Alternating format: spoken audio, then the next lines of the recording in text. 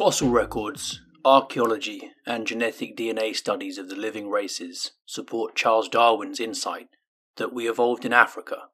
Humans then spread to the Middle East, Europe, Asia, Australia, and then to the Americas. As humans left Africa, their bodies, brains, and behaviour changed. True, all humans are brothers and sisters, but we all know that brothers and sisters can still be very different from one another. In both everyday life and evolutionary biology, a black is anyone most of whose ancestors were born in sub Saharan Africa. A white is anyone most of whose ancestors were born in Europe.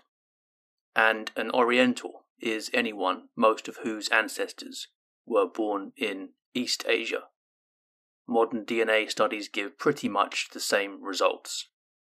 The environment of Eurasia produced physical differences between the races. Northern Europe's cloudiness meant less sunshine. This decreased the intake of vitamin D. So lighter skin and hair were needed to let more sunlight get in.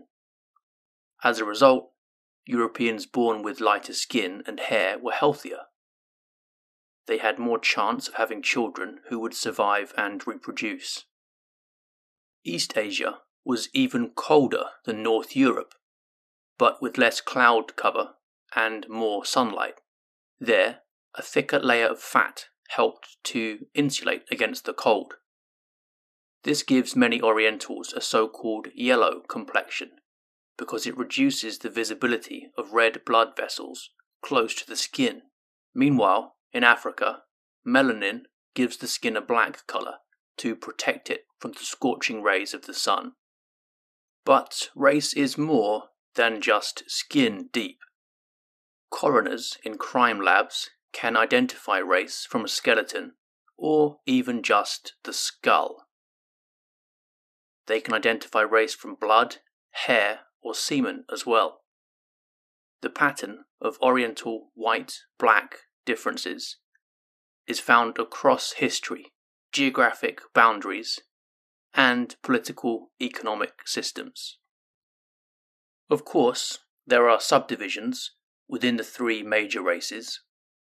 The Oriental group can be subdivided into Northeast Asians, such as the Chinese, Japanese, and Koreans, and the Southeast Asians. Black and white groups can also be subdivided in the same way.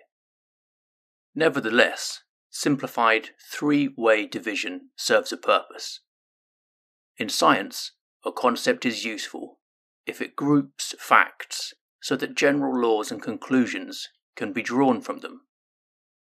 The three way classification is scientifically justified because it shows a consistent pattern for many different traits, with Orientals at one end, blacks at the other, and whites in between.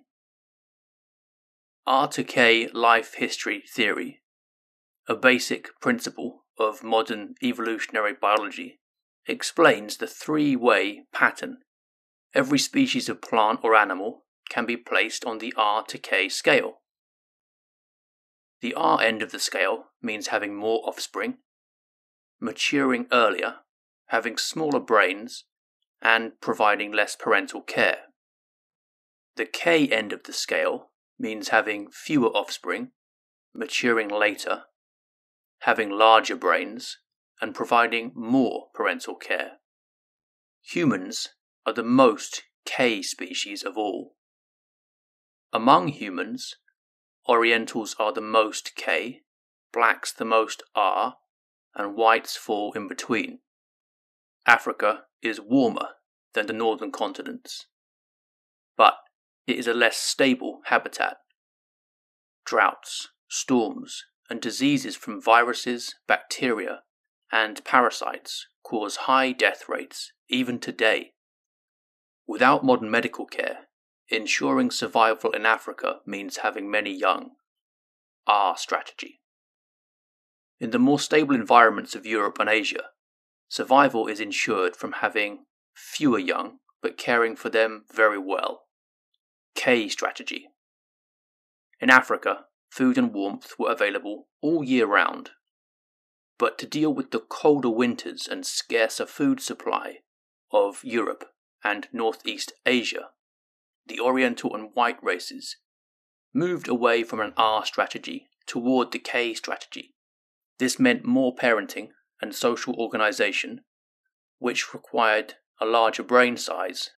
The three way pattern of race differences is true for growth rates, lifespan, personality, family functioning, criminality, and success in social organization. Black babies mature faster than white babies.